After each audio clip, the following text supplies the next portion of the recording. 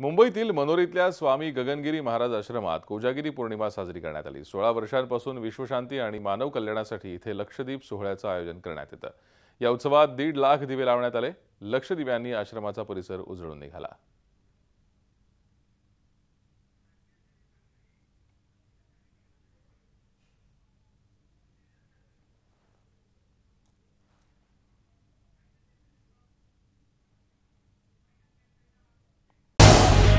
Zee चोवीस तास. रहा एक पाऊल पुढे.